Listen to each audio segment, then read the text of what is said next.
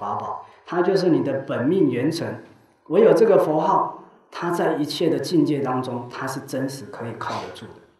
我们靠我们的钱财，靠我们的父母，靠我们的子女，这个都靠不住。我们所靠的一定是万德庄严的佛号。那么这样子，万念妄念升起的时候，我们马上可以把我们的念头变成不是安住在烦恼，而是念头把它转念念佛。这个时候妄念，它久久之后就会被你磨掉。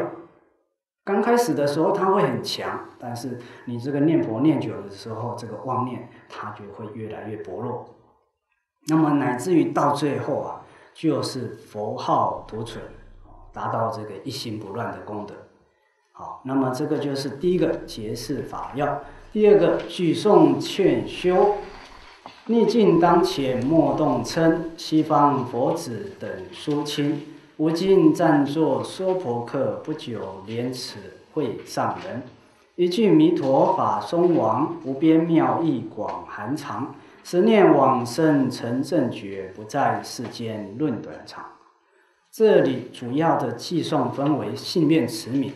前面这个寄诵在使令我们产生信愿。逆境当前莫动嗔。我们遇到逆境出现的时候，这个时候我们要知道，嗔心是功德火哦。你这个所有的功德林好不容易把它造起来了，嗔心它一把火一次就把它毁灭掉了。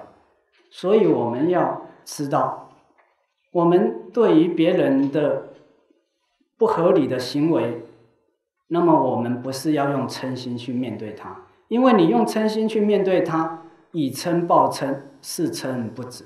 这个嗔心永远不会解决问题的，因为你用嗔心面对别人，每一个众生都有一个自我防护乃至于自我保护的心，他也绝对不会允许你用嗔心面对他。那么这样子两个人就是嗔心不会停止了，所以说不能用嗔心来解决问题。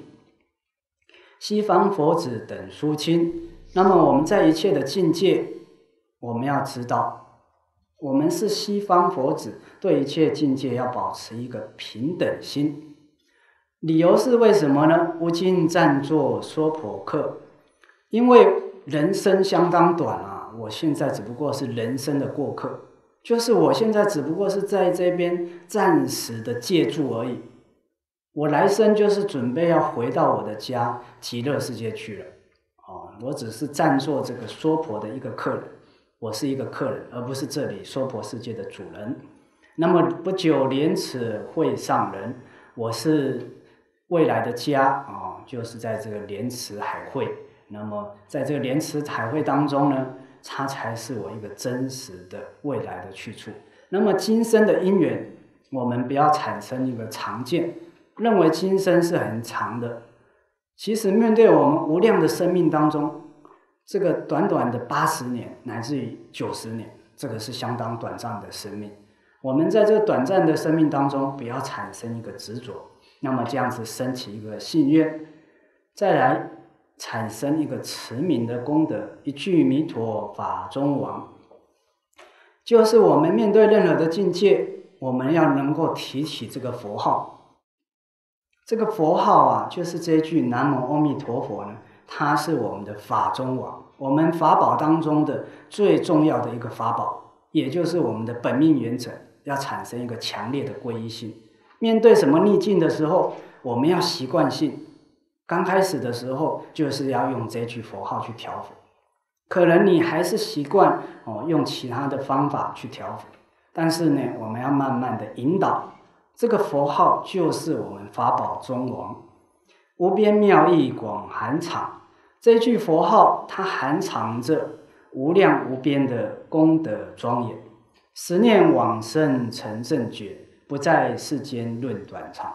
等到我们临命终的时候，假借我们的法宝往生极乐世界，我们就不在这个娑婆世界啊，这些所谓的是是非非啊，这些的八风跟我们都是没有关系了。我们就不需要做这种斤斤计较，所以这个修行啊，我们一定要分清楚今生的因缘，你要如何安身立命，使令我们今生安身立命，你才有办法达到临终真念。这个今生的安身立命，也就是在说“不在世间论短长”这句话，就是我们一个人呢，哦，什么事情呢？就是少计较，那么多念佛。所以，这个当我们今生有的时候，它这个逆境，它是一个时期一个时期的。这个时候逆境出现的时候，我们一定要把内心世界转念念佛，安住在这个佛号上面。那么，更要进一步的，我们平时在放蒙山做功德，还有是我们做功课的时候，要把这个功德、功课，还有你的功德回向给你今天啊。跟他相处不好的人，或者是你的冤亲债主，那么你要常常给他回向，希望他也可以修行。那么这样解冤释结的因缘呢，大家都一起往生极乐世界。好，那么这一堂课就整个把《佛说阿弥陀经》做一个导读。那么未来在这个整个佛法的净土法门的修学上面，就是要坚持哦这个信愿持名。那么是当做我们一生的一个功课，那么所归的境界，也就是这句名号，好，回向。